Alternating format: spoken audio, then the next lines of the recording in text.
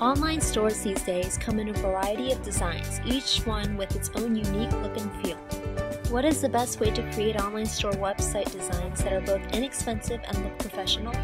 Luckily, there are e-commerce software solutions that have templates that you can choose from. These range from the minimalistic and simple to more extravagant and feature-rich.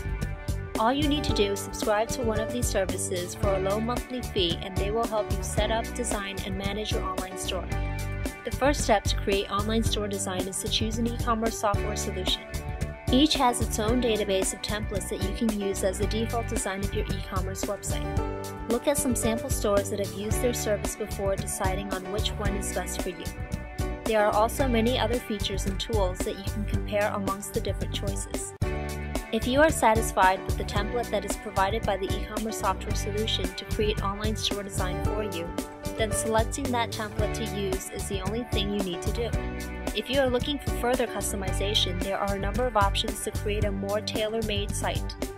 For people who have a good understanding of HTML and web design, simply go through the code of the template and make the necessary changes. If you don't have the technical skills, some of these services provide an in-house design team that charges a fee for further customization. Or you can look for your own web designer to tweak the code according to your preferences.